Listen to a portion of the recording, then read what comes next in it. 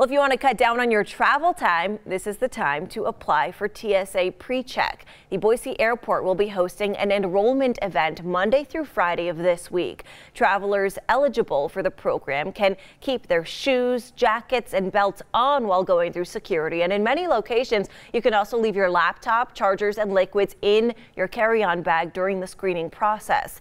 The perks work in about 200 airports across the country, including here at the Boise Airport.